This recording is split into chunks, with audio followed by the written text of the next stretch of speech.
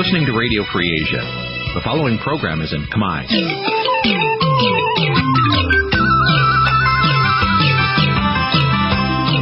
នេះជាកម្មវិធីផ្សាយវិទ្យុអាស៊ីសេរីនេះជាកម្មវិធីផ្សាយរបស់ Vuthu Azizi Saray ជាភាសាខ្មែរវិទ្យុអាស៊ីសេរីសូមស្វាគមន៍លោកអ្នកនាងទាំងអស់ពីរដ្ឋធានី Washington នៃសហរដ្ឋអាមេរិក ពីរដ្ឋធានីវ៉ាស៊ីនតោនខ្ញុំបាទសូមចរថាសូមជម្រាបសួរលោកអ្នកនាងកញ្ញាទាំងអស់ជាទីមេត្រីខ្ញុំបាទហេងសកលក៏សូមជម្រាបសួរលោកអ្នកនាងអ្នកស្ដាប់ជាទីមេត្រីយើងខ្ញុំសូមជូនកម្មវិធីផ្សាយសម្រាប់ព្រឹកថ្ងៃអង្គារ7កើតខែបឋមសាទឆ្នាំចសម្រិតស័កពុរសករាជ2562ដែលត្រូវនៅថ្ងៃទី19ខែមិថុនាគ្រិស្តសករាជ2018ជាដំបូងនេះសូមអញ្ជើញលោកអ្នកនាងស្ដាប់ព័ត៌មានប្រចាំថ្ងៃ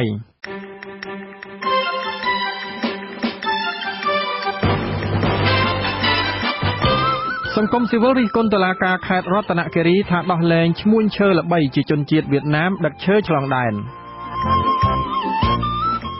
ជនជាដើមភាគតិចខេត្តស្ទឹងត្រែងថាក្បួនរថយន្តដឹកឈើតាមរថយន្តសាំយ៉ុងដោយដង្ហែកឋិនពីខេត្តស្ទឹងត្រែងទៅខេត្តកោះចេះអាជ្ញាធរខេត្តកោះកុងខាត់ឡានមិនឲ្យដឹកបរតមានចំនួនដីធ្លីមកតវ៉ានៅភ្នំពេញ កម្ពុជានិងថៃចុះកិច្ចព្រមព្រៀងផ្នែកសុខាភិបាលរួមនឹងព័ត៌មានផ្សេងៗមួយចំនួនទៀត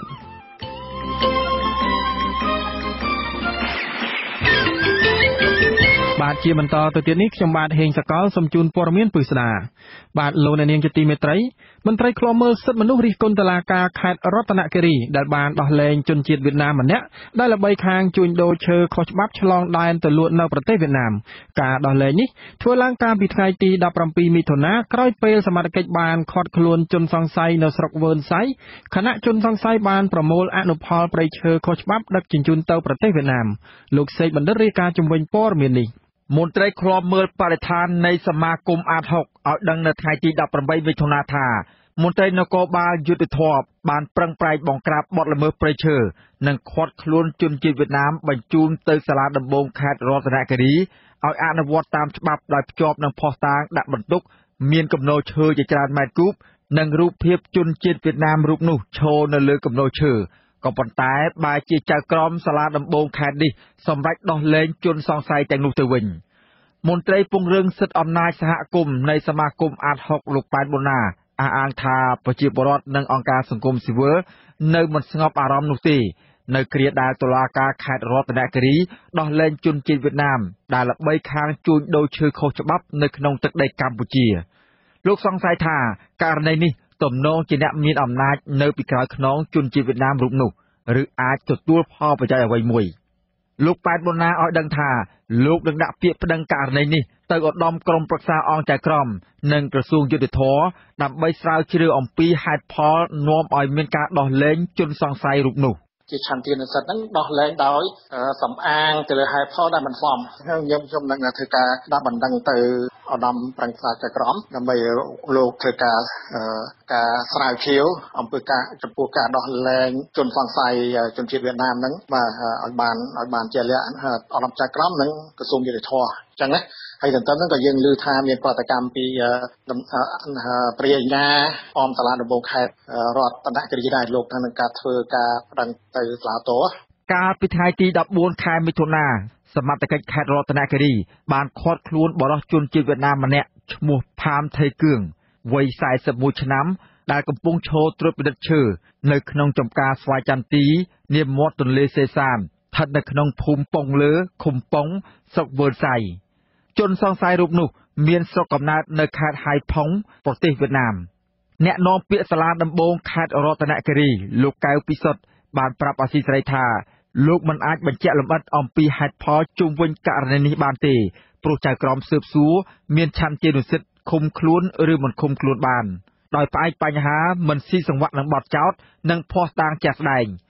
ទោះយ៉ាងណាលោកបញ្ជាក់ថាតំណាងអាយកាអមសាលាដំបងខេត្តសម្រាប់ប្តឹងទាស់ ការមិនឃុំខ្លួនជនសង្ស័យជនជាតិវៀតណាមនោះរួចហើយលោកអ្នករាជការក៏បានចាប់ប្រកាន់មកឲ្យព្រមស៊ើបតាមការចាប់ប្រកាន់របស់គាត់ចឹងគេព្រមគាត់អ្នកស៊ើបសួរក៏ស៊ើបសួរឃើញយ៉ាងម៉េចនឹងជីវៈយ៉ាងម៉េចគាត់មានគិតក្នុងការសម្រេចរបស់គាត់បានហ្នឹងលើឆន្ទៈសិទ្ធិរបស់លោកវិក្រមបើតកតនឹងមូលហេតុជាក់លាក់មកហើយវារឿងតាមគិតមើលតាមតកតផ្លូវច្បាប់ក៏จะមានបញ្ហាមួយមិនជីវៈនឹងក្បត់ខោអីចឹងជនជាតិដើមភាគតិចទំពូនរស់នៅក្នុងស្រុកលំផាត់ខេត្តរតនគិរីលោកខំនិនអះអាងថា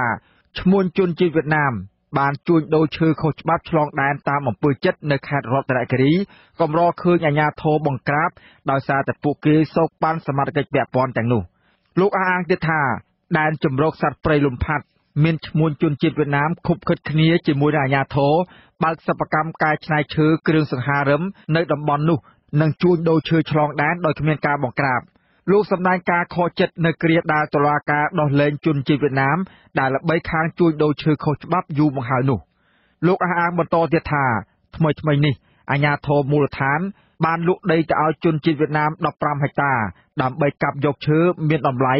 និងទន្ទ្រានព្រៃយកដីធ្វើកសិកម្មស្ថិតនៅក្នុងដែនជំរកសត្វព្រៃលំផាត់អាញាធរគេដាក់វៀតណាមមកគេបងប្រាក់ខែឲ្យអាញាធរអញ្ចឹងអាញាធរភូមិមេសហគមន៍ភូមិមេភូមិមានបងទៅណាទេដូចមេឃុំវាអញ្ចឹងយកវៀតណាមមកនៅក្នុងនេះបើកសិប្បកម្មមួយមកកន្លែងធ្វើក្រែធ្វើតុកធ្វើអីកូនមេសហគមន៍អាអ្នកដឹក ចូលកូនអនុភូមិសំជីកភូមិកូនពុកធៀងអ្នកដឹកឈើនឹងចូលទៅវៀតណាមធ្វើសិប្បកម្មលក់ដល់វៀតណាមហើយក្បែរ5 10ហាត់ទៀតនោះគួរតែផ្ដើមធ្វើចការចំណុចគោយ៉ាម៉ាយណាមន្ត្រីឃ្លាំមើលបរិស្ថាននៃសមាគមអាត6ខេត្តរតនគិរីលោកដិនខុននីដែលបានតាមដានករណីនេះសង្កេតឃើញថាចំណាត់ការរបស់តុលាការគឺគ្មានប្រសិទ្ធភាពចំពោះបុគ្គលមានឥទ្ធិពលនិងជនជាតិវៀតណាមដែលនាំឲ្យប្រជាពលរដ្ឋអស់ជំនឿចិត្តទៅលើសមត្ថកិច្ចនិងប្រព័ន្ធតុលាការ។ លោកទទូចសូមឲ្យមានការស៊ើបអង្កេតស៊ីជម្រៅជុំវិញរឿងនេះបន្ថែមទៀតដើម្បីជៀសវាងនាំឲ្យជនល្មើសនៅតែបន្តប្រព្រឹត្តបទល្មើសដដែលៗហើយវប្បធម៌នីតិរដ្ឋភាពនៅតែចាក់ស្រេះនៅក្នុងសង្គមកម្ពុជា ធ្វើការស៊ើបអង្កេតឲ្យបានម៉ត់ចត់ជាងនេះដើម្បីជៀសវាងដល់ការដែលជនប្រព្រឹត្តបទល្មើសហ្នឹងគាត់អាចរួចខ្លួនបានហើយគាត់ទៅប្រព្រឹត្តបទល្មើសទៀតហើយកុំឲ្យមានវប្បធម៌ទនភាពនៅក្នុងស្រុកខ្មែរយើងខ្លាំងពេកដែលធ្វើឲ្យប្រជាពលរដ្ឋយើងវារឿយៗដែលគាត់តែងតែនិយាយតតគ្នាថាតឡាការតេលេហើយដោយសារតែមានករណីនិទានភាពច្រើននៅក្នុងស្រុកខ្មែរមន្ត្រីអង្គការមិនមែនរដ្ឋាភិបាលមានក្តីព្រួយបារម្ភអំពីការអនុវត្តច្បាប់ របស់ប្រព័ន្ធយុត្តិធម៌នៅកម្ពុជា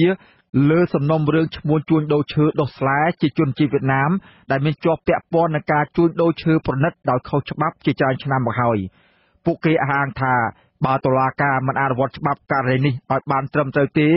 មានន័យថាតុលាការបានចូលរួមចំណែកបំផ្លាញធនធានធម្មជាតិនៅកម្ពុជាដូចគ្នានោះដែរកាលពីចុងឆ្នាំ2016សមត្ថកិច្ចបានចាប់ខ្លួនជនជាតិវៀតណាមឈ្មោះហេងសំនៀងហៅយាយព្រឿង ដែលល្បីខាងជួញដូរឈើទ្រង់ទ្រាយធំទៅកាន់ប្រទេសវៀតណាម ពីភាគឦសាននៃកម្ពុជាឈ្មោះឈើរូបនោះត្រូវបានគេស្គាល់ជាសាធារណៈថាជាមេខ្លោងជួញដូរឈើប្រណិតជាង10ឆ្នាំមកហើយដែលសោកបានអាជ្ញាធរពាក់ព័ន្ធស្ទើរគ្រប់ស្ថាប័ន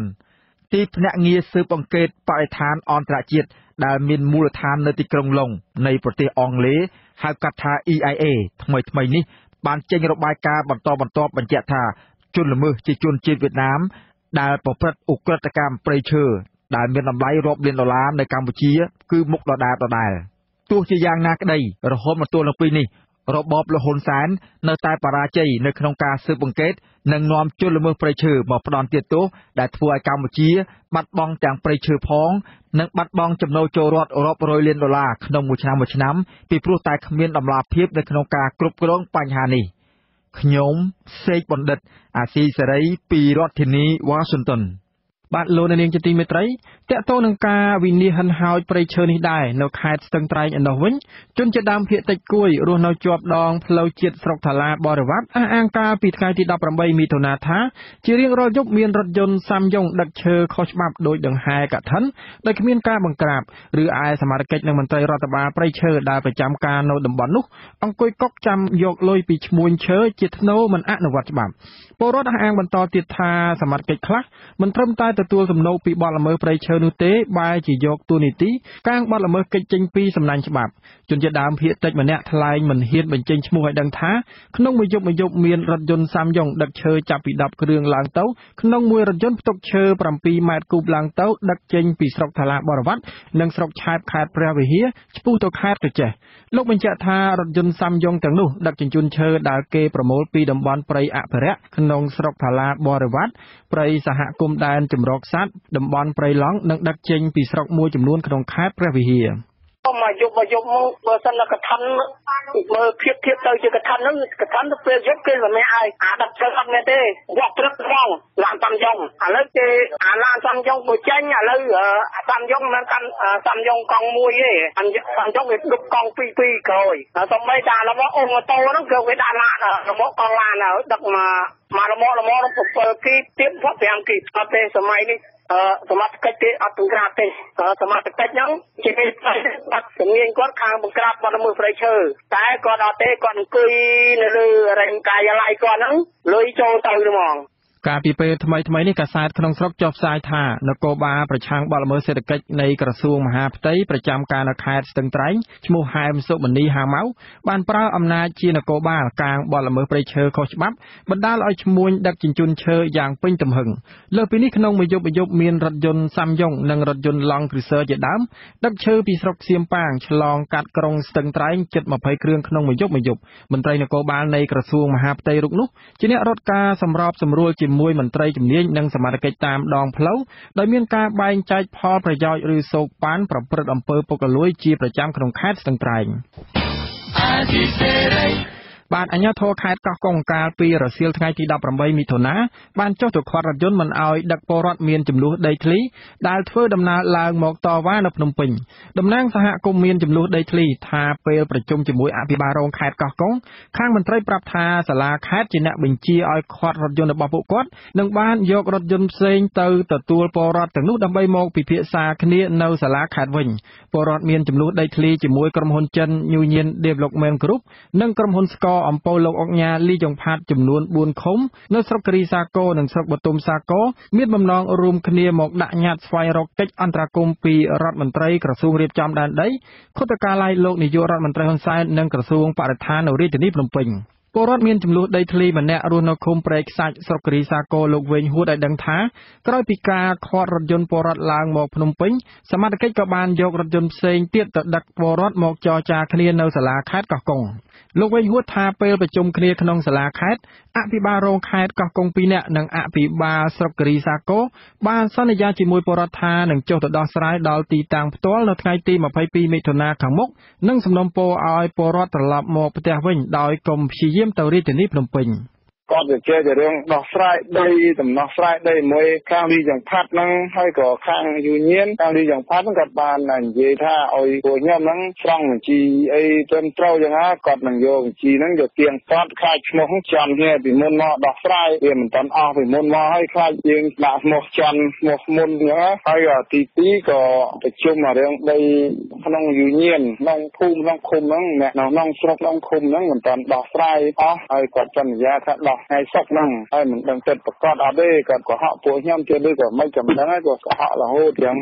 ពួកខ្ញុំក៏រកទីគាត់គ្នាទៀតហ្នឹង ពលរដ្ឋមានចំនួនដីធ្លីដែលនាំគ្នាឡើងមករាជធានីភ្នំពេញកាលពីថ្ងៃទី18មិថុនាមានចំនួន37នាក់រស់នៅឃុំចំនួន4គឺឃុំកោះស្ដាច់ឃុំព្រែកខ្សាច់ឃុំភីមាសស្រុកគិរីសាគរនិងឃុំតានួននៃស្រុកបទុមសាគរក្រុមហ៊ុនចិនឈ្មោះ Union Development Group ឬ UDG និងក្រុមហ៊ុនស្ករអំពៅរបស់លោកអុកញ៉ាលីយ៉ុងផាតសមាជិកប្រសិទ្ធិគណៈបកកាន់អំណាចតែងតែរងការចោទពីពលរដ្ឋមានចំនួនដីធ្លីនៅខេត្តកោះកុងថាតែងតែបានធ្វើសកម្មភាពជាច្រើនដើម្បីបណ្ដេញប្រជាពលរដ្ឋចេញពីលំនៅឋាន ដោយឲ្យសំណងមិនសមរម្យទៅពួកគាត់ ពលរដ្ឋអះអាងថាជាង10ឆ្នាំមកនេះពួកគាត់បានដើរទាមទារតវ៉ាទៅគ្រប់ស្ថាប័នរបស់រដ្ឋរស់នៅប្រឈមជីវភាពទីទាល់ក្រយ៉ាងវេទនាហើយម្ដងម្កាលពួកគាត់រងការបង្ក្រាបពីសមាជិកនៅពេលតវ៉ាទាំងពួកគាត់ជាជនរងគ្រោះដីធ្លីខណៈម្ចាស់ក្រុមហ៊ុនបានចំណេញប្រាក់យ៉ាងច្រើនពីការវិនិយោគលើដីរបស់ពួកគាត់ជាក់ស្ដែងកាលពីថ្ងៃទី5ខែកុម្ភៈក្រុមហ៊ុនចិន UDG បានដុតកំទេចផ្ទះនិងកាប់បំផ្លាញផលដំណាំនៅតំបន់ថ្មពៀនក្នុងឃុំព្រែកខ្សាច់ស្រុកគិរីសាគរក្នុងព្រឹត្តិការណ៍ការដុតផ្ទះកាលនោះពលរដ្ឋរងគ្រោះអះអាងថាពួកគាត់គ្មានលទ្ធភាពក្នុងការតតាំងនឹងក្រុមហ៊ុនទេក្រោយមកពួកគាត់បានប្តឹងទៅសាលាដំបងខេត្តកោះកុងពីការដុតកំទេចផ្ទះរបស់ពួកគាត់ប៉ុន្តែរហូតមកដល់ថ្ងៃនេះពលរដ្ឋអះអាងថានៅមិនទាន់បានទទួលដំណោះស្រាយបែបណានៅឡើយ។ ក្រុមកិច្ចការពិសេសសិទ្ធិមនុស្សកាលពីថ្ងៃទី30ខែវិច្ឆិកាឆ្នាំ2013បានចេញសេចក្តីថ្លែងការណ៍ថាចំនួនដីធ្លីនៅខេត្តកោះកុងគឺមានកងកម្លាំងប្រដាប់អាវុធជាអ្នកនៅពីក្រោយខ្នងនៃការរំលោភសិទ្ធិមនុស្សអង្គការមិនមែនរដ្ឋាភិបាលដែលឃ្លាំមើលគម្រោងវិនិយោគនិងធុរកិច្ចនៅកម្ពុជារកឃើញថាកងកម្លាំងដែលត្រូវបានក្រុមហ៊ុនឯកជនជួលជាពិសេសក្រុមហ៊ុនចិនផ្ដល់កម្រៃពលកម្មក្នុងមួយខែមួយខែចន្លោះពី300ទៅ500ដុល្លារអាមេរិកលើសពីនេះទៅទៀតកត្តាដែលជំរុញឲ្យក្រុមហ៊ុនចិន UDG មានឥទ្ធិពលដោយសារតែមានយោធាជាសម្ព័ន្ធមិត្តដ៏ជិតស្និទ្ធសេចក្តីថ្លែងការណ៍កាលនោះឲ្យដឹងថាមេទាហានម្នាក់គឺឧត្តមសេនីយ៍គុនគីមនិងគូកនបានប្រើអំណាចមកដោះស្រាយទំនាស់ដីធ្លីជាមួយពលរដ្ឋដោយកម្រោលអាស៊ីសេរីមិនអាចសុំការបញ្ជាក់បន្ថែមពីមន្ត្រីសាលាខេត្តកោះកុងបានទេកាលពីថ្ងៃទី18មិថុនាប៉ុន្តែកន្លងមកអភិបាលរងខេត្តកោះកុងទទួលបន្ទុកដោះស្រាយចំនួនដីធ្លី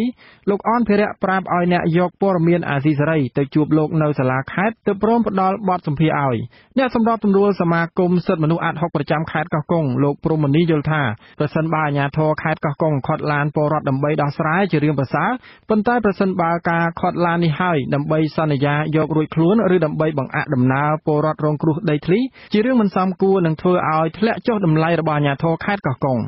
បើគាត់ទៅខត់ប្រជាពលរដ្ឋឲ្យគាត់ដោះស្រាយអាហ្នឹងគាត់កុំកុហកអាហ្នឹងគាត់មានតម្លៃអាណាបើគាត់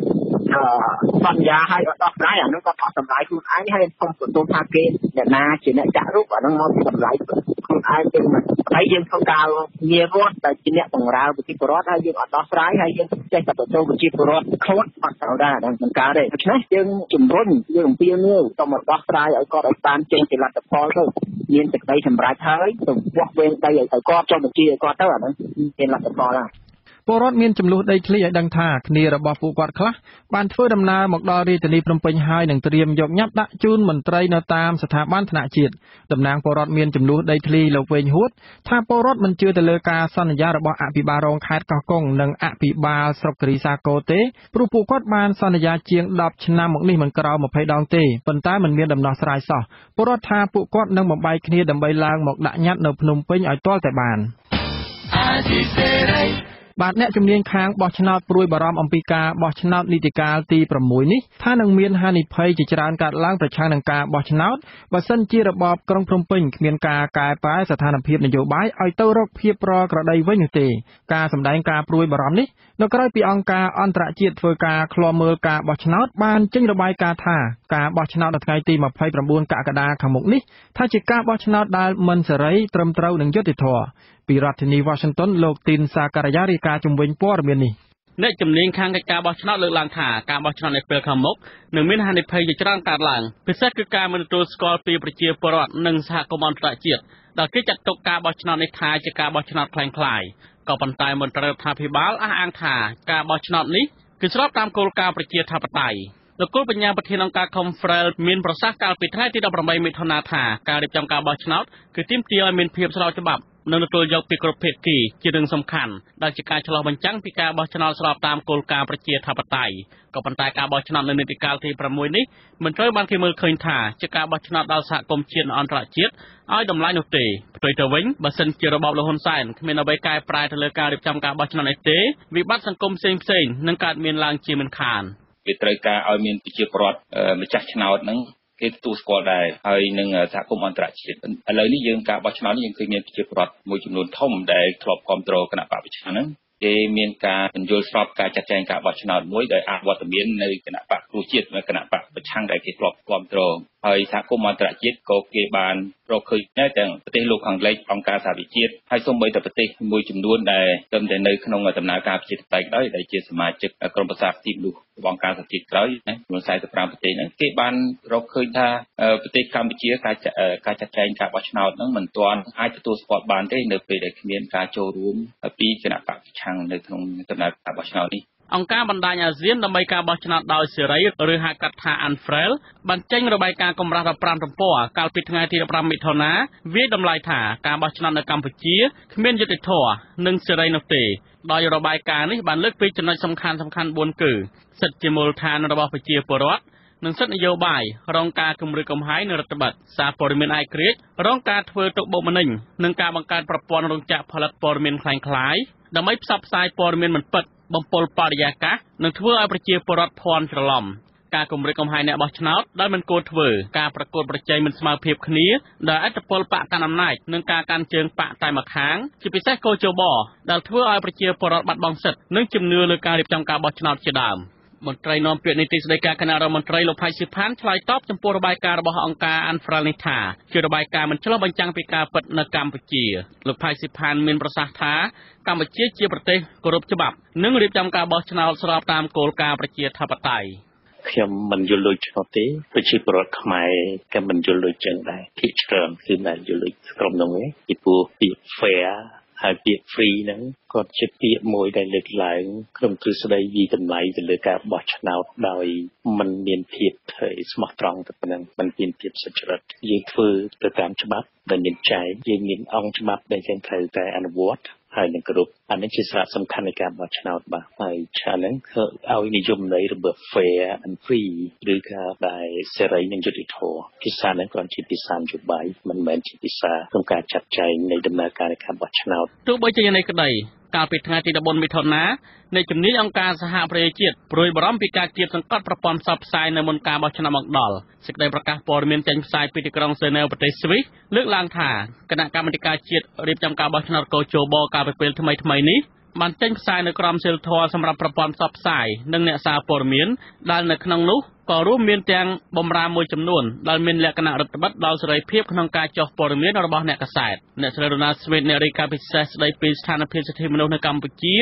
លោក David Kaye អ្នករាយការណ៍ពិសេសស្ដីពីការលើកស្ទួយនិងការពារសិទ្ធិសេរីភាព និងអ្នកជំនាញខាងផ្នែកសិទ្ធិមនុស្សមួយចំនួនទៀតសម្ដែងការព្រួយបារម្ភចំពោះស្ថាប័នរៀបចំការបោះឆ្នោតកោជបដែលបានចេញក្រមសីលធម៌ប្រព័ន្ធផ្សព្វផ្សាយដែលមានចរិតគៀបសង្កត់ដល់សិទ្ធិក្នុងការបញ្ចេញមតិបែបនេះចំណុចសំខាន់សំខាន់នៅក្នុងក្រមសីលធម៌របស់កោជបសម្រាប់ប្រព័ន្ធផ្សព្វផ្សាយដែលក្រុមអ្នកជំនាញនៃអង្គការសហប្រជាជាតិយល់ថាជាការរដ្ឋបတ်លើប្រព័ន្ធផ្សព្វផ្សាយនោះរួមមានការហាមប្រាមមិនឲ្យចុះផ្សាយព័ត៌មានដែលអាចនាំឲ្យមានការភ័ន្តច្រឡំឬបាត់បង់ទំនុកចិត្តក្នុងការបោះឆ្នោត ការផ្សាយព័ត៌មានដែលរារាំងប្រជាពលរដ្ឋមិនឲ្យទៅបោះឆ្នោតនិងការបញ្ចេញមតិផ្ទាល់ខ្លួនឬការធ្វើបរិយាវិនិច្ឆ័យអំពីការបោះឆ្នោតឡាក់រាជរបាយការណ៍របស់ Anfrel ក៏បានសង្កត់ធ្ងន់ទៅលើអ្នកមានអំណាចគម្រាមកំហែងនិងបំផិតបំភ័យប្រជាពលរដ្ឋនៅមុនពេលបោះឆ្នោតនេះដែរក្រោយពីការរំលាយគណៈបកសង្គ្រោះជាតិនិងការចាប់ខ្លួនលោកកម្មសខាប្រធានគណៈបកប្រឆាំងនោះរបាយការណ៍នេះក៏បញ្ជាក់ដែរថាបើទោះជាការអនុញ្ញាតឲ្យគណៈបកសង្គ្រោះជាតិចូលរួមការបោះឆ្នោតនៅពេលនេះក្តីក៏មិនប្រកាសថាការបោះឆ្នោតមានភាពសេរី ត្រឹមត្រូវ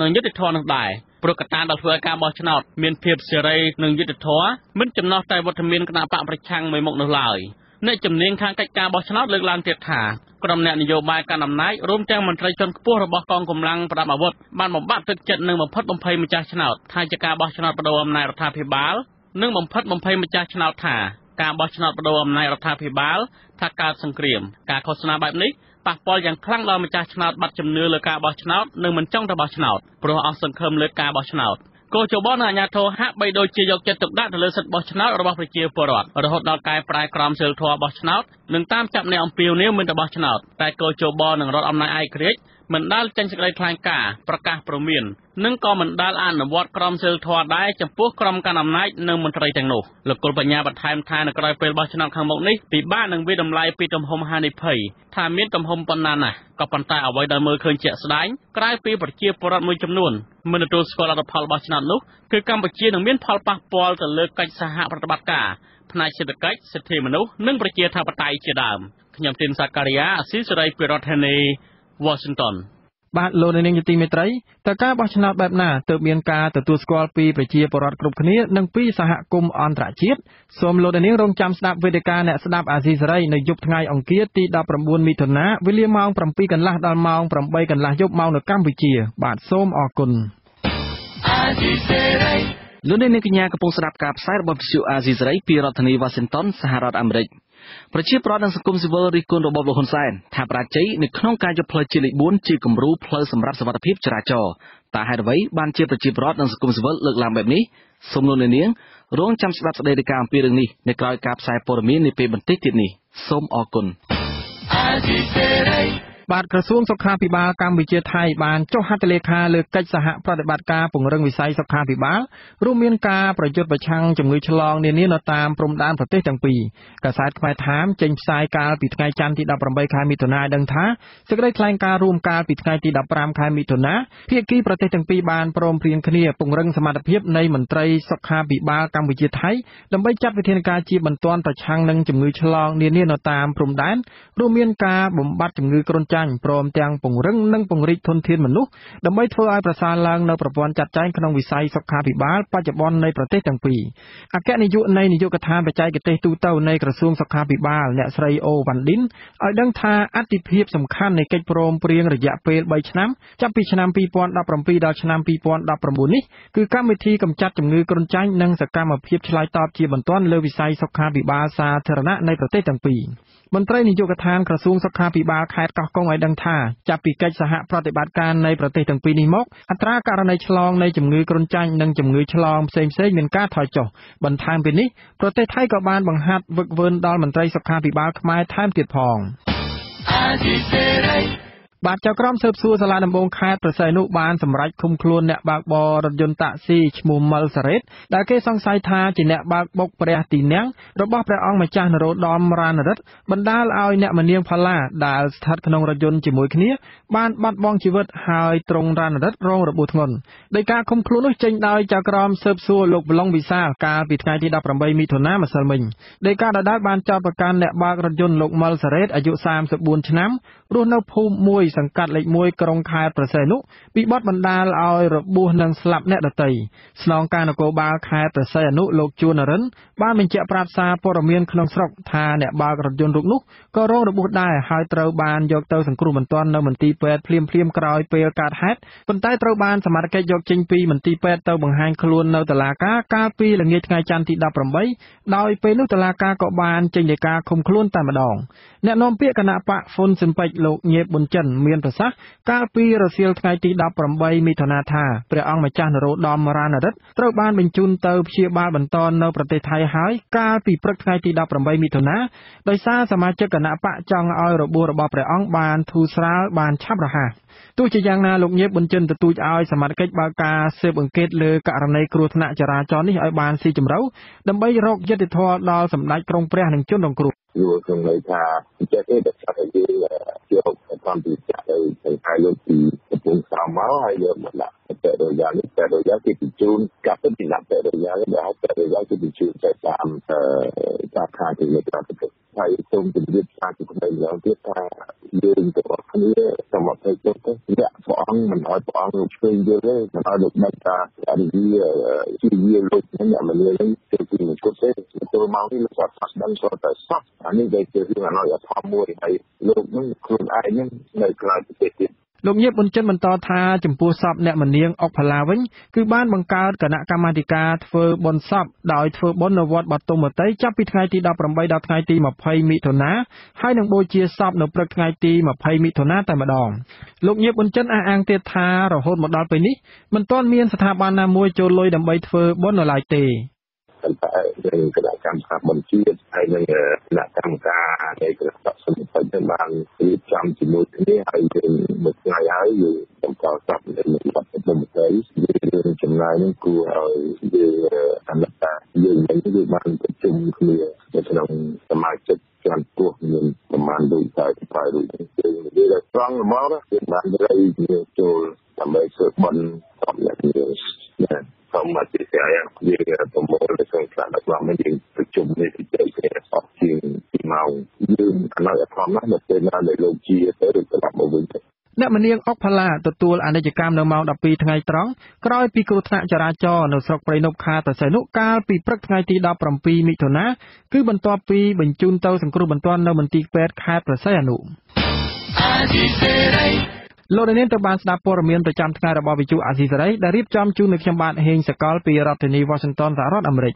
សូមលោកនាងរងចាំស្ដាប់សេចក្តីរាយការណ៍ផ្សេងៗនៃកម្មវិធីផ្សាយរបស់យើងនាពេលបន្តិចទៀតនេះ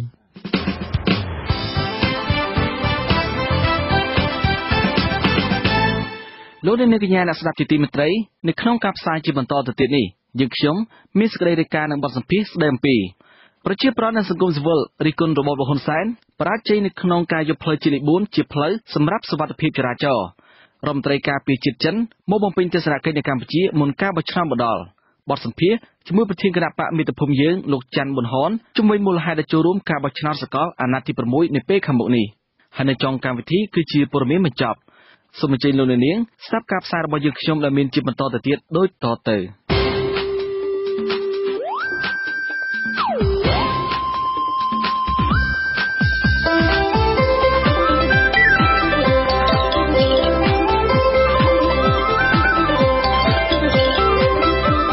ក្តីរាយការណ៍ពិស្ដា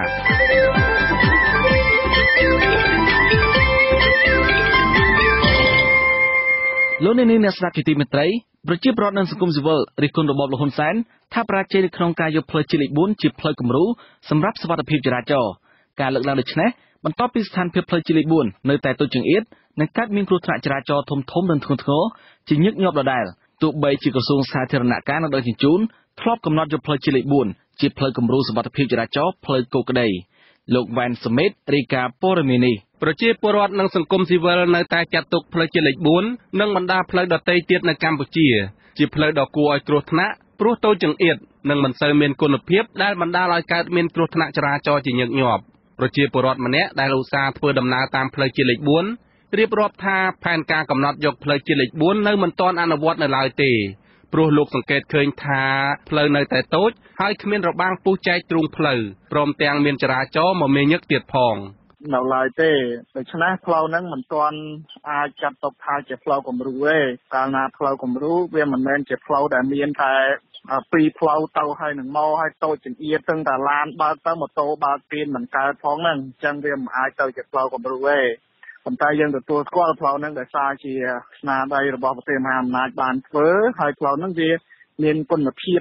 ខ្ពស់ជាងផ្លូវនានាដែលយើងធ្លាប់ធ្វើដំណើរឆ្លងកាត់ណាបើនិយាយពីគុណភាពប៉ុន្តែវានៅតែតូចចង្អៀតនៅឡើយអញ្ចឹងណាបាទពលរដ្ឋរូបនេះបន្តថាក្រៅពីពង្រឹងការអនុវត្តច្បាប់នោះលោកយល់ថាការពង្រីកផ្លូវឲ្យបានទូលាយនិងធ្វើរនាំងពុះចែកទ្រូងផ្លូវគឺជារឿងសំខាន់ក្នុងការកាត់បន្ថយគ្រោះថ្នាក់ចរាចរណ៍ ប៉ុន្តែជាផ្លូវនឹងវាពង្រីកធំរហូតដល់មានស្តង់ដារហៅស្តង់ដារអន្តរជាតិភាសាមួយទៀតហៅថា highway ហ្នឹងគឺជាផ្លូវដែលវាធំ អញ្ចឹងវាអាចចែកទ្រូងផ្លូវមកខាង2ឬក៏មកខាង3ផ្លូវហ្នឹងនឹងមិនបង្កគ្រោះថ្នាក់ដល់ការធ្វើដំណើររបស់ភ្ញៀវទេសចរឬក៏ប្រជាពលរដ្ឋទូទៅទេហើយពិសេសជាងនេះទៀតតាមគម្រោងរបស់រដ្ឋាភិបាលផ្លូវហ្នឹងគឺជាផ្លូវដែលរដ្ឋាភិបាលតែងតែអះអាងថាជាផ្លូវដែលធ្វើឲ្យមានល្បឿនលឿន ស្តង់ដារអន្តរជាតិដូច្នេះវាអត់ទាន់ឃើញមានលេចរូបរាងត្រង់ដំណាមួយដែលយើងកត់សម្គាល់បានទេសម្រាប់ផ្លូវជាតិលេខ4ហ្នឹងណាហើយអ្វីដែលពិសេសជាងនេះទៅទៀតបច្ចុប្បន្នផ្លូវវាតូចហើយប៉ូលីសចរាចរណ៍អីជាដើមហ្នឹងហាក់បើដូចជាដាក់យកចាំយកតលុយ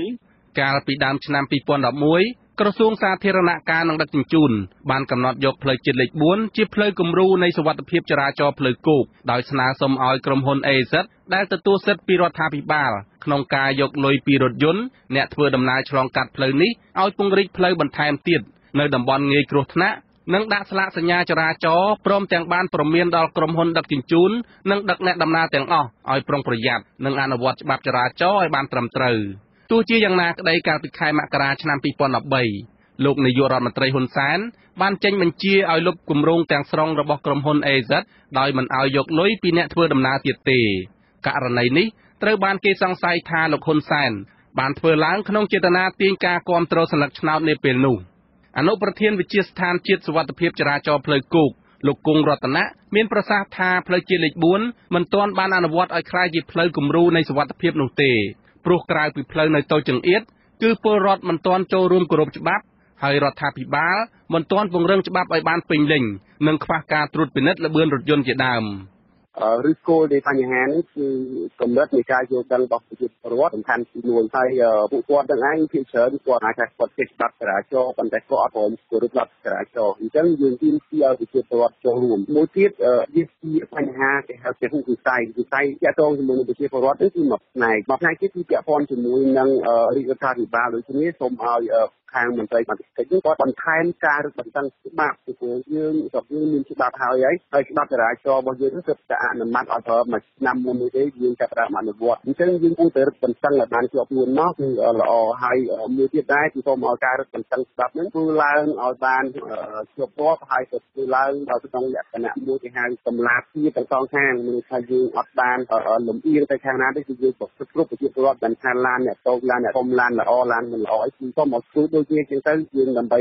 បកកលក្ខណៈឲ្យស្រុកយើងមានសុវត្ថិភាពបាទការសម្ដែងក្តីព្រួយបារម្ភនិងការផ្ដល់មតិយោបល់អំពីសុវត្ថិភាពចរាចរណ៍នេះគឺបន្ទាប់ពីមានករណីគ្រោះថ្នាក់ចរាចរណ៍ធំធំ និងធ្ងន់ធ្ងរកើតឡើងជាច្រើនលើកនៅតាមបណ្ដោយផ្លូវជាតិលេខ4ជាពិសេសករណីមួយដែលបានកើតឡើងគ្រោះថ្នាក់ចរាចរណ៍រវាងរថយន្តសម្ដេចក្រមព្រះនរោត្តមរណរដ្ឋនិងរថយន្តឈ្នួល Mark Highlander កាលពីថ្ងៃទី17ខែមិថុនាដែលបណ្ដាលឲ្យអ្នកម្នាងអុកផល្លាបាត់បង់ជីវិតនិងមនុស្ស7នាក់រងរបួសធ្ងន់និងស្រាលរួមទាំងសម្ដេចក្រមព្រះផងដែរអ្នកនាំពាក្យក្រសួងសាធារណការនិងដឹកជញ្ជូនលោកវ៉ាសឹមសូរិយាមានប្រសាសន៍ថាការកំណត់យកផ្លូវជាតិលេខ4ជាផ្លូវគំរូសុវត្ថិភាពចរាចរណ៍នេះគឺជាបញ្ហារបស់អន្តរក្រសួងដែលមានក្រសួងសាធារណការជាស្នូលលោកបន្តថាតាំងពីដើមឆ្នាំ2011មក គឺក្រសួងបានចំណាយថវិកាជាច្រើនសម្រាប់ថែទាំផ្លូវជាតិលេខ4ជាពិសេសចំណុចដែលមានគ្រោះថ្នាក់ខ្លាំងខ្លាំងនិងកន្លែងដែលកោងជាដើមត្រូវបានពិនិត្យកែសម្រួលឲ្យបានល្អឡើងវិញហើយបាទអញ្ចឹងខ្ញុំមិនអាចជំរាបជូនបានថាមិនបាននៅតែគ្រោះថ្នាក់ចរាចរណ៍អាហ្នឹងជាកត្តាយានយន្តវាមកចំណាយជាពិសេស អ្នកបើកបរហើយកត្តាផ្លូវរបស់យើងគឺយើងនៅតែទុកជាផ្លូវអត្ថភាពចឹងព្រោះយើងដល់ថវិកាទៅច្រើនណាស់តែទៅជាលេខ4យើងធ្វើរៀបចំវងមូលយើងទៅរីកផ្លូវជាអៀតអៀតដូចផ្លូវនៅម្ដុំពីរោងចក្រសាស្ត្រវាចឹងទៅអីចឹងហើយបន្ទាប់មកយើងទៅនៅតំបន់វងមូលវារែងបានបានអញ្ចឹងមានវងមូលនៅដុំផ្លូវបំបាយចូលឡើងទៅ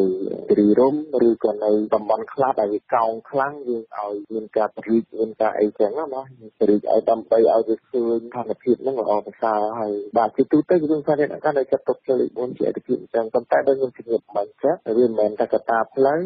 លោកវ៉ាសឹមសូរិយាឲ្យដឹងដែរថាក្រសួងនិងធនាគារពិភពលោកកំពុងតែមានផែនការពង្រីកផ្លូវជាលេខ4បន្ថែមទៀតដោយក្រុងចំណាយថវិកាប្រមាណជាង100លានដុល្លារគម្រោងនេះអាចនឹងចាប់ផ្ដើមអនុវត្តនៅឆ្នាំ2019ខាងមុខនេះ របាយការណ៍របស់គណៈកម្មការជាតិសវត្ថិភាពចរាចរណ៍ផ្លូវគោកបង្ហាញថានៅត្រីមាសទី1ឆ្នាំ2018គ្រោះថ្នាក់ចរាចរណ៍ផ្លូវគោកមានចំនួន819លើក ហើយដែលបណ្ដាលឲ្យស្លាប់480នាក់និងរបួស1234នាក់ចំណែករបាយការណ៍គ្រោះថ្នាក់ចរាចរណ៍សរុបសម្រាប់ឆ្នាំ2017វិញគឺយ៉ាងហោចណាស់មនុស្សជិត1800នាក់បានស្លាប់និងរងរបួសជិត1100នាក់ខ្ញុំបាទវ៉ែនសុមេត អាស៊ីសេរីពីរដ្ឋធានី Washington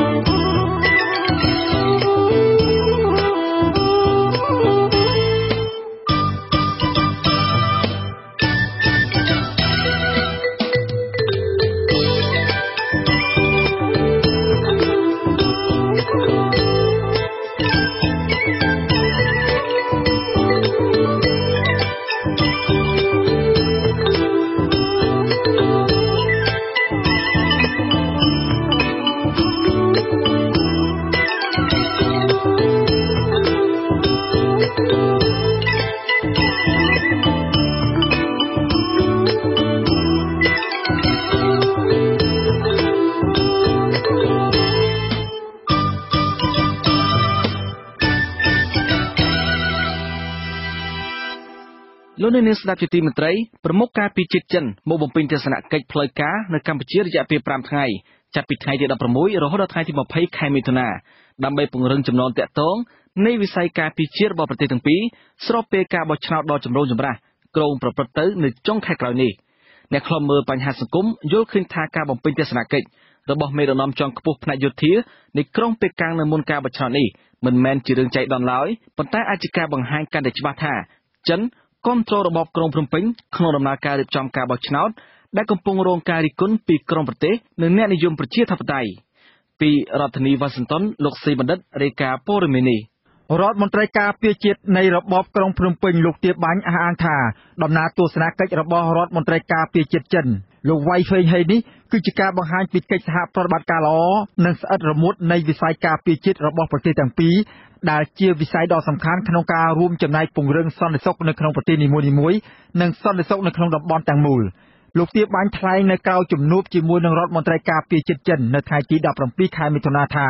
កម្ពុជានិងចិននឹងសហការគ្នារៀបចំសមយុទ្ធយោធានាគមាស នៅឆ្នាំ2019ខាងមុខនេះបន្តទៀតដើម្បីរំលឹកអំពីចំណងមិត្តភាព និងវិស័យការពារជាតិនៃប្រទេសទាំងពីរឲ្យកាន់តែជិតស្និទ្ធថែមទៀត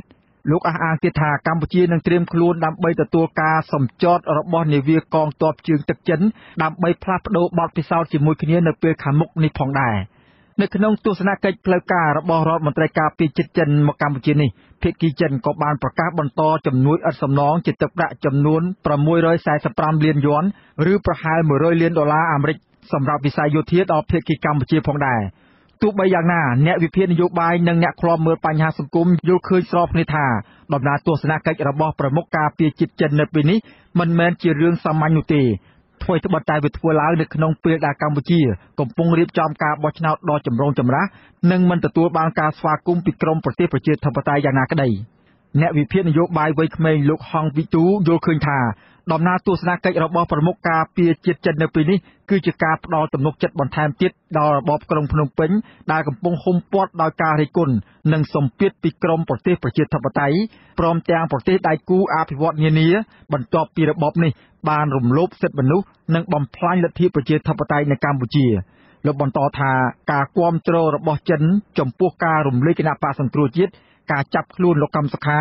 និងការបំបិតសម្លេងឯករាជ្យនោះមិនមែនជារឿងល្អឡើយផ្ទុយទៅវិញមានតែធ្វើឲ្យរបបក្រុងភ្នំពេញកាន់តែដើរឃ្លាតចេញពីគន្លងប្រជាធិបតេយ្យហើយវានឹងធ្វើឲ្យប្រជាពលរដ្ឋកាន់តែបាត់ទំនុកចិត្តលើការដឹកនាំរបស់ក្រុមដឹកនាំនៃរបបលោកហ៊ុនសែនថែមទៀតផង។ ប្រទេសចិនបានមើលឃើញថាកម្ពុជាអាចនឹងទទួលរងសម្ពាធពីខាងប្រទេសលោកខាងលិចដូច្នេះហើយចិនមកព្យាយាមនៅក្នុងការមកទស្សនកិច្ចកម្ពុជានេះគឺដើម្បីមានន័យក្រៅទៅពីការលើកទឹកចិត្តកម្ពុជានឹងដើម្បីកុំឲ្យខ្លាចប្រទេសអស់ទាំងនឹងអញ្ចឹងណាមានន័យថាគ្រប់កលៈស័កគឺថាចិននៅជាមួយកម្ពុជាជានិច្ចទោះបីជាយ៉ាងម៉េចក៏ដោយទស្សនកិច្ចហើយការផ្ដល់ជំនួយដល់យោធាកម្ពុជានេះខ្ញុំគិតថាវាមិនមែនជារឿងមួយដែលល្អទេសម្រាប់កម្ពុជាដោយសារតែចិនជាប្រទេសកុម្មុយនីសអញ្ចឹងបើសិនជាប្រទេសដែលកុម្មុយនីសផ្ដាច់ការស្និទ្ធនឹងកម្ពុជាកម្ពុជាអានឹងមានន័យថាកម្ពុជានឹងនឹងមានផលប៉ះពាល់ធំទៅថ្ងៃអនាគតហើយនឹងបច្ចុប្បន្នហ្នឹងក៏មានផលប៉ះពាល់ដែរបាទចំណែកប្រធានអង្គការសម្ព័ន្ធគណនេយ្យភាពសង្គមកម្ពុជាលោកសនជ័យវិញថ្លែងថា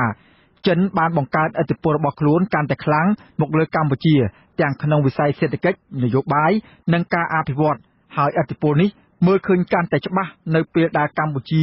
កំពុងមានវិបត្តិនយោបាយនិងកំពុងរៀបចំការបោះឆ្នោតជ្រើសតាំងតំណាងរាស្ត្រដ៏ចម្រូងចម្រាសនៅខែក្រោយនេះ។ មិនមែនជារឿងចៃដន្យពេកទេដែលទស្សនកិច្ចរបស់មន្ត្រីជាន់ខ្ពស់របស់ចិនមកកម្ពុជា នៅពេលដែលមុនការបោះឆ្នោតមកដល់នៅខែកក្កដាខាងមុខនេះអញ្ចឹងចំណុចនេះយើងអាចមើលឃើញអំពីការចង់ធ្វើឲ្យមានអធិពលកាន់តែខ្លាំងរបស់ចិនមកលើកម្ពុជា នៅពេលដែលចិនព្យាយាមជួយកម្ពុជាម្ដងហើយម្ដងទៀតទាំងការអភិវឌ្ឍក៏ដូចជាតទៅនឹងកិច្ចការនយោបាយនឹងចិនជាប្រទេសមហាអំណាចតែមួយគត់ដែលបានប្រកាសទុកជាមុនថាខ្លួននឹងទទួលស្គាល់លទ្ធផលបោះឆ្នោតនៅខែកក្កដាខាងមុខថ្នាក់ដឹកនាំចិនជាបន្តបន្ទាប់បានប្រកាសជាចំហថាចិនមានចំហឥតងាករេក្នុងការគោរពឯករាជ្យអធិបតេយ្យនិងការចាត់វិធានការនានារបស់របបក្រុងភ្នំពេញចំពោះកិច្ចការពារសន្តិសុខនិងស្ថិរភាពសង្គមបន្ថែមពីលើនេះទៀត ចិនក៏បានប្រកាសថាខ្លួននឹងធ្វើជាខ្នងបង្អែកដ៏រឹងមាំរបស់លោកហ៊ុនសែននិងគណបកប្រជាជនកម្ពុជា នៅក្នុងការដឹកនាំប្រទេសប្រកបដោយសុខសន្តិភាព តាមរយៈការគ្រប់គ្រងរបស់ចិនជាបន្តបន្ទាប់ដល់រដ្ឋាភិបាលក្រុងភ្នំពេញដោយមិនខ្វល់របបនេះរំលាយលទ្ធិប្រជាធិបតេយ្យនៅកម្ពុជា និងរំលាយគណៈបកប្រឆាំងដែលតំណាងឲ្យម្ចាស់ឆ្នោតជាង3លាននាក់ចាប់អ្នកនយោបាយដាក់ពន្ធនាគារនិងបិទប្រព័ន្ធផ្សព្វផ្សាយព័ត៌មានឯករាជ្យជាច្រើននោះ ចិនត្រូវគេមើលឃើញថាកំពុងចូលដៃរំលោភសិទ្ធិមនុស្សនិងបំផ្លាញលទ្ធិប្រជាធិបតេយ្យនៅកម្ពុជាការប្រកាសពីជំហររបស់ខ្លួនជាបន្តបន្ទាប់បែបនេះបានធ្វើឲ្យមេដឹកនាំរបបក្រុងភ្នំពេញលោកហ៊ុនសែនសារភាពជាលើកដំបូងបង្អស់កាលពីដើមខែឧសភាកន្លងទៅថាលោកកំពុងដឹកនាំប្រទេសទៅរកចិនកុម្មុយនីសពិតប្រាកដមែនព្រោះលោកងាយស្រួលធ្វើការជាមួយភាគីចិនអ្នកខ្លះគេថាមិនក៏ចិនច្រើនម៉េះឥឡូវនោះអញ្ចឹងការដ្ឋានរាប់សិប បើបោកទាំងវិនិយោគទៅបងការដ្ឋានដល់រយចូលមិនអោយចិនច្រើនអ្ហ្មងប្រទេសដទៃទៀតបើចង់មកច្រើនវាតតែមកបើកការដ្ឋានឲ្យច្រើនដូចគ្នាមិនច្រើនហើយគឺវាទៅទៀតបើតែឃើញចិនមកច្រើនមកចំណែននៃចិននេះទៅវិញវាគិតទៅថាកម្ពុជាដឹកនាំប្រទេសទៅជិតចិនចុះបើចិនគេស្រួលជាមួយខ្ញុំមិនឲ្យទៅជិតជាមួយគ្នាហ្មង ជំនួយដែលចិនផ្ដល់មកកម្ពុជាសុទ្ធសឹងតែជាជំនួយគ្មានលក្ខខណ្ឌដែលនាំឲ្យមានការបារម្ភអំពីការប្រើប្រាស់ជំនួយទាំងនោះមិនចំគោលដៅនិងការបាត់បង់ទៅលើអំពើពុករលួយ ចំណែកឯគម្រោងវិនិយោគខ្នាតធំរបស់ចិននៅកម្ពុជាភាគច្រើនសុទ្ធសឹងតែជាដើមហេតុនៃទំនាស់យ៉ាងច្រើន ជាពិសេសគឺទំនាស់ដីធ្លីដ៏រ៉ាំរ៉ៃរវាងក្រុមហ៊ុននិងប្រជាពលរដ្ឋនៅក្នុងរយៈពេល13ឆ្នាំចុងក្រោយនេះជំនួយអភិវឌ្ឍរបស់ចិននៅកម្ពុជា មានចំនួនសរុប57គម្រោង ក្នុងនោះ 47គម្រោងគឺជាប្រភេទប្រាក់កម្ចីមានទឹកប្រាក់សរុបជិត 3000 លានដុល្លារអាមេរិក និងប្រភេទជំនួយឥតសំណងមានចំនួន 10 គម្រោងដែលមានទឹកប្រាក់សរុបជិត 180 លានដុល្លារអាមេរិក។អ្នកវិភាគអះអាងថាការគាំទ្ររបស់ចិនចំពោះរបបក្រុងភ្នំពេញនោះនឹងធ្វើឲ្យគណបកប្រជាជនកម្ពុជា ដែលជាបកកណ្ដាលអំណាចមិនខ្លាចនឹងរៀបចំការបោះឆ្នោតដែលគ្មានលក្ខណៈសេរីយុត្តិធម៌នោះឡើយហើយការគាំទ្រនេះ នឹងធ្វើឲ្យគណៈបកកណ្ដាលអំណាចកាន់តែមានទឹកចិត្តខ្លាំងក្លាថែមទៀតនៅក្នុងការផាត់គណៈបកសង្គ្រោះជាតិដែលជាគណៈបកប្រឆាំងដ៏ធំជាងគេនៅកម្ពុជាចេញពីសង្វៀននយោបាយសម្រាប់ការបោះឆ្នោតជ្រើសតាំងតំណាងរាស្ត្រនីតិកាលទី6នៃរដ្ឋសភានៅខែកក្កដាខាងមុខនេះម្យ៉ាងវិញទៀតការដឹកនាំលំអៀងទៅរកចិននេះ នឹងធ្វើឲ្យកម្ពុជាកាន់តែឃ្លាតឆ្ងាយពីក្រុមប្រទេសលោកខាងលិចដែលជាអ្នកជួយពង្រឹងកម្ពុជាក្នុងការពង្រឹងវិស័យអភិបាលកិច្ចនិងប្រឆាំងអំពើពុករលួយ ដែលកម្ពុជាត្រូវការចាំបាច់ក្នុងការប្រែខ្លួនទៅជាប្រទេសអភិវឌ្ឍដ៏ពិតប្រាកដមួយនៅពេលខាងមុខនេះខ្ញុំសេកបណ្ឌិត អាស៊ីសេរីពីរដ្ឋធានី Washington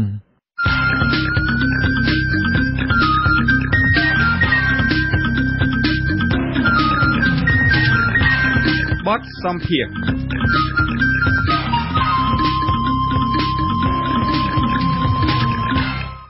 លោកនាងអ្នកស្ដាប់ជាទីមេត្រីគណៈបកមាតុភូមិយើងដែលបង្កើតឡើងកាលពីខែមិថុនាឆ្នាំ2017នឹងចូលរួមការបោះឆ្នោតអាណត្តិទី6នៅថ្ងៃទី29ខែកក្កដាខាងមុខនេះដែលស្ថិតនៅលេខរៀងលំដាប់ទី2នៅលើសន្លឹកឆ្នោត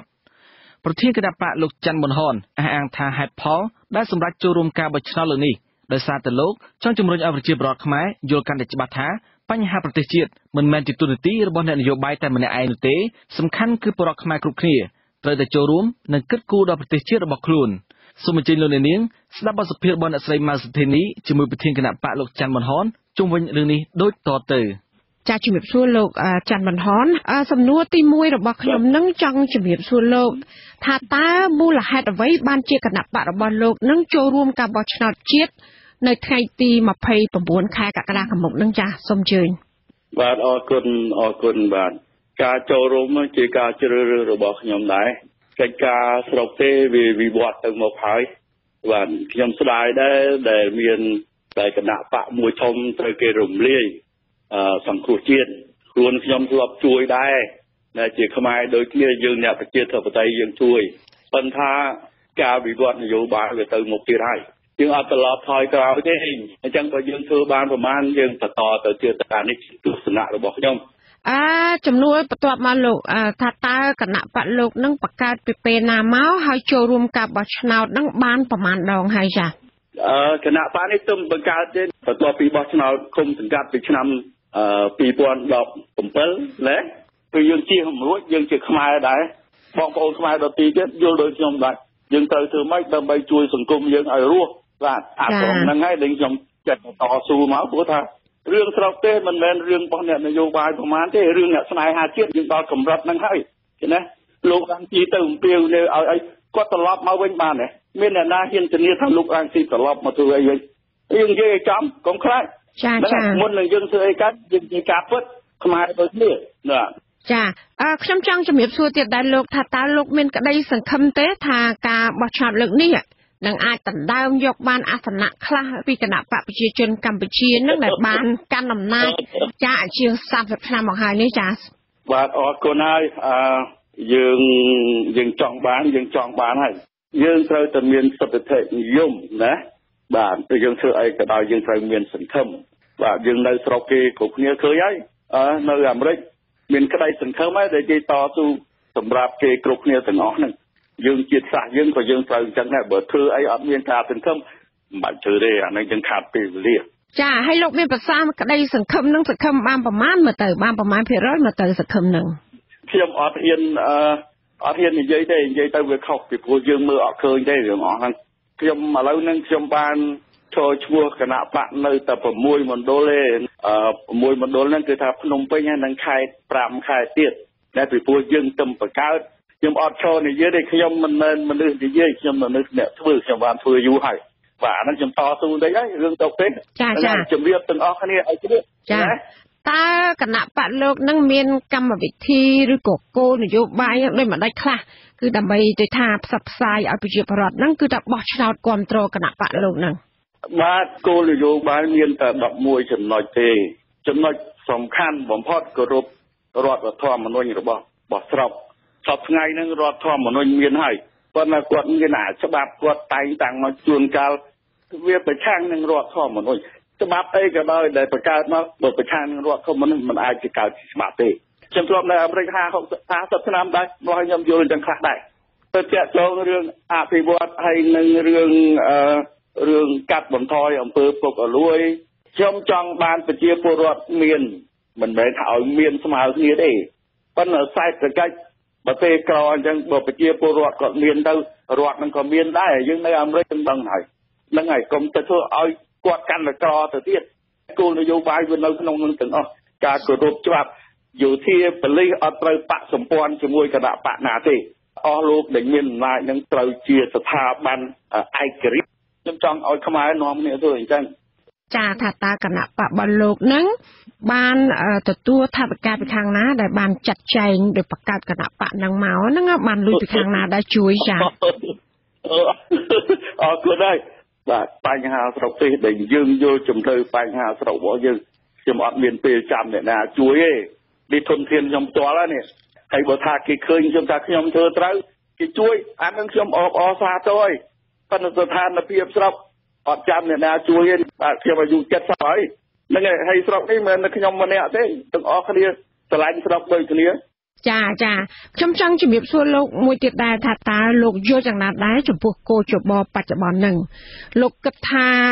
សមាជិកភាពគោចបពេលនេះហ្នឹងអាចរៀបចំការបោះឆ្នោតមួយដែលផ្ដល់យុទ្ធធម៌ដល់គណៈបកលោកដែរទេ ហើយបើផ្ដល់មិនផ្ដល់ហេតុអីចាបាទខ្ញុំ ខ្ញុំមិនទាន់ហ៊ានសន្មតថាម៉េចទេឥឡូវហ្នឹងព្រោះថាខ្ញុំទៅផ្ដើមណាពីព្រោះវិវត្តនយោបាយស្រុកវាចឹងហើយចង់មិនចង់វាមានស្ពានមួយនឹងដែលយើងទៅឆ្លងកាត់ចំហរបស់ខ្ញុំពង្រឹងស្មារតីប្រជាពលរដ្ឋឲ្យគាត់តស៊ូរឿងស្រុកទេយើងមិនអាចធ្វើលក្ខណាប្រជាធិបតេយ្យក្នុងចិត្តរបស់យើងក្នុងពេលវេលាយើងចង់បានទេខ្ញុំអត់ដឹងដែរខ្ញុំអត់ខ្ញុំអត់មានចម្លើយត្រង់ហ្នឹងខ្ញុំមិនចង់ វាយតម្លៃគេក្នុងភ្លាមទេខ្ញុំទុកឱកាសពេលវេលាឲ្យគេធ្វើដែរណាបើយើងបើយើងនិយាយទៅវាថាអវិជ្ជមានពេកក៏យើងយើងអឺ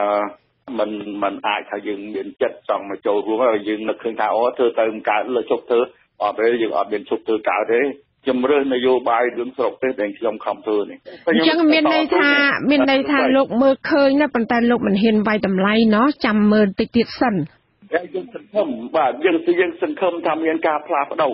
ណាពីព្រោះអស់លោកទាំងអស់ហ្នឹងទាំងអ្នកកាន់អំណាចទាំងអ្នកគ្រប់គ្រងស្ថាប័នផ្សេងផ្សេងហ្នឹងគាត់ត្រូវតែមានកំណត់ថាធ្វើការវិវត្តចម្រើនស្រុកទេប្រជាពលអស់ដល់ប្រជាពលរដ្ឋនឹងតទៅមុខទៀត ចង់ជំរាបហើយចង់បំភ្លឺយ៉ាងទាំងថាដែលខ្ញុំចូលរួមមកពីព្រោះអត់យើងអត់ដឹងធ្វើម៉េចយើងអត់មានជំរឿទេចាសំណួរចុងក្រោយរបស់ខ្ញុំខ្ញុំចង់ដឹងថាតើលោកយល់ឃើញយ៉ាងណាដែរចំពោះការដែលដូចថាគណៈបកកណ្ដាលអំណាចនឹងយកអាសនៈគណៈបកដែលឆ្នើឆ្នោតនឹងទៅចែកឲ្យគណៈបកផ្សេងដែលបរដ្ឋមិនបោះឆ្នោតឲ្យនោះចាសូមជឿនចាបាទអឺចេះខ្ញុំមិនបាច់វាយតម្លៃអីទេរឿងអស់នឹងដឹងទាំងអស់គ្នាហើយប្រជាពលរដ្ឋទេ ដែលគាត់វាយតម្លៃក្នុងកិច្ចការហ្នឹងខ្ញុំគាត់ថាជាអ្នកយកចិត្តទុកដាក់មានអ្នកឈឺឆ្អាលប៉ុន្តែពីព្រោះវាមានហេតុផលច្រើនណាស់ដែលដែលវាទៅដល់ចំណុចហ្នឹងតែហើយខ្ញុំមិនមិនថាធ្វើត្រូវទេប៉ុន្តែគេអាចធ្វើបានអានឹងមូលហេតុអីខ្លះអានឹងទៅអង្គុយទៅចែកគ្នាអានឹងជារឿងរបស់គេអ្នកណាធ្វើមិនអានឹងរឿងរបស់គេទេតែខ្ញុំគឺថាទើបមកខ្ញុំចង់ពង្រឹងរឿងស្មារតីបងប្អូនយើងហ្នឹងគឺថា រឿងស្រុកទេសទៅតស៊ូតែប្រជាពលរដ្ឋគាត់ជាអ្នកវាយតម្លៃកិច្ចការអស់ហ្នឹងគាត់ជាម្ចាស់ឆ្នោតហ្នឹងហើយខ្ញុំមានតែចង់ជម្រាបអញ្ចឹងទេខ្ញុំមានតែស្ដាយប៉ុន្តែតែវាទៅអញ្ចឹងហើយយើងខ្ញុំអត់អាចធ្វើអីបានទេចាបាទហ្នឹងហើយចានាងខ្ញុំសូមអរគុណនិងជំរាបលាចាលោកបាទខ្ញុំសូមអរគុណដែរអរគុណបាទជំរាបសុខសប្បាយបាទ លោកនាងកញ្ញាទើបទៅបានស្ដាប់បទសម្ភាសន៍របស់អ្នកស្រីម៉ៅសុធីនីនៃវិទ្យុអាស៊ីសេរីជាមួយប្រធានគណៈបកមាតុភូមិយើងលោកច័ន្ទមនហនជុំវិញហេតុផលដែលគណៈបកមីនេះចូលរួមការបោះឆ្នោតសកលនៅថ្ងៃទី29ខែកក្កដាខាងមុខនេះ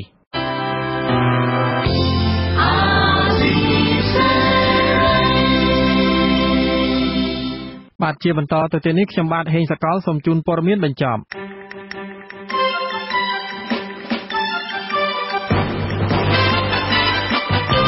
មន្ត្រីខ្លមើលសិទ្ធិមនុស្សរិះគន់តុលាការខេត្តរតនគិរីដែលបានដោះលែងជនជាតិវៀតណាមម្នាក់ដែលល្បីខាងជួញដូរឈើខុសច្បាប់ឆ្លងដែនទៅលក់នៅប្រទេសវៀតណាមការដោះលែងនេះធ្វើឡើងកាលពីថ្ងៃទី17មិថុនាក្រោយពីសមត្ថកិច្ចបានឃាត់ខ្លួនជនសង្ស័យនៅស្រុកវឿនសៃខណៈដែលជនសង្ស័យបានប្រមូលអនុផលព្រៃឈើខុសច្បាប់ដឹកជញ្ជូនទៅប្រទេសវៀតណាមនៅខេត្តស្ទឹងត្រែងឯនោះវិញជនជាតិដើមភាគតិចគួយរស់នៅជាប់ដងផ្លូវជាតិស្រុកតាឡាបរវត្ត អះអាងកាលពីថ្ងៃទី18មិថុនាថា ជារៀងរាល់យប់មានរថយន្តសាំយ៉ុងដឹកឈើខុសច្បាប់ដោយដង្ហែកឋិនដោយគ្មានការបង្ក្រាបឬឯសមាជិកនិងមន្ត្រីរដ្ឋបាលព្រៃឈើដែលប្រចាំការនៅតំបន់នោះអង្គុយកុកចាំយកលុយពីឈ្មួញឈើជាធ្នូមិនអនុវត្តច្បាប់ពលរដ្ឋបន្តអះអាងថាសមាជិកខ្លះមិនត្រឹមតែទទួលសំណូកពីបទល្មើសព្រៃឈើទេបែរជាយកតួនាទីកាងបទល្មើសកិច្ចពីសំណាញ់ច្បាប់ អាជ្ញាធរខេត្តកោះកុងកាលពីរសៀលថ្ងៃទី18មិថុនាបានចុះទៅឃាត់រថយន្តមិនឲ្យដឹកពលរដ្ឋមានចំនួនដីធ្លីធ្វើដំណើរឡើងមកតវ៉ានៅរាជធានីភ្នំពេញ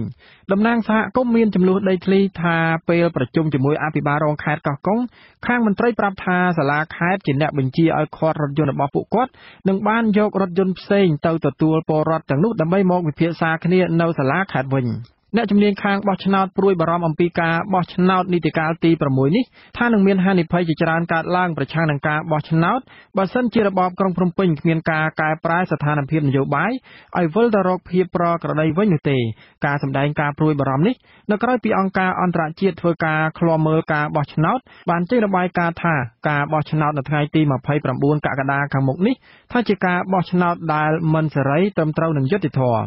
ក្រសួងសុខាភិបាលកម្ពុជាថៃបានចុះហត្ថលេខាលើកិច្ចសហប្រតិបត្តិការពង្រឹងវិស័យសុខាភិបាលរួមមានការប្រយុទ្ធប្រឆាំងជំងឺឆ្លងនានានៅតាមព្រំដែនប្រទេសទាំងពីរកាសែតខ្មែរថាមចេញផ្សាយកាលពីថ្ងៃច័ន្ទទី18ខែមិថុនាឲ្យដឹងថាសេចក្តីថ្លែងការណ៍រួមកាលពីថ្ងៃទី15ខែមិថុនាភាគីប្រទេសទាំងពីរបានព្រមព្រៀងគ្នាពង្រឹងសមត្ថភាពនៃមន្ត្រីសុខាភិបាលកម្ពុជាថៃដើម្បីចាត់វិធានការជាបន្ទាន់ប្រឆាំងនឹងជំងឺឆ្លងនានានៅតាមព្រំដែនរួមមានការបំបត្តិជំងឺគ្រុនចាញ់ព្រមទាំងពង្រឹងនិងពង្រីកធនធានមនុស្សដើម្បីធ្វើឲ្យប្រសើរឡើងនៅប្រព័ន្ធចាត់ចែងក្នុងវិស័យសុខាភិបាលបច្ចុប្បន្ននៃប្រទេសទាំងពីរ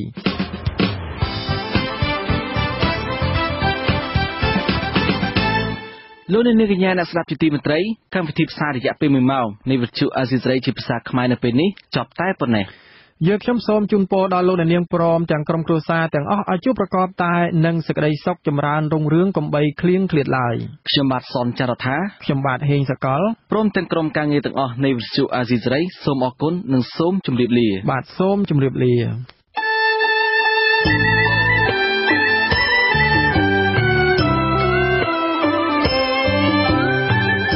វិទ្យុអេស៊ីសេរីផ្សាយតាមរលកធាតុអាកាសខ្លីឬ short wave តាមកម្រិតនិងកម្ពស់ដូចតទៅនេះ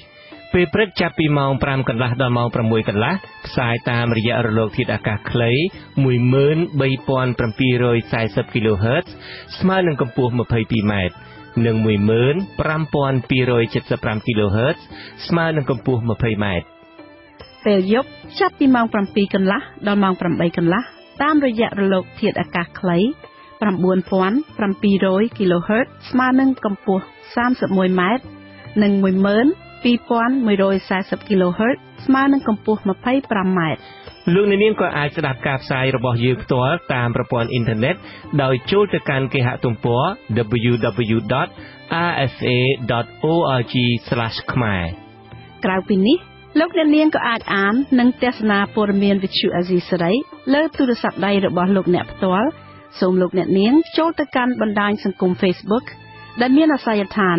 www.facebook.com/rfa.cambodia និង YouTube www.youtube.com/rfa Khmer Video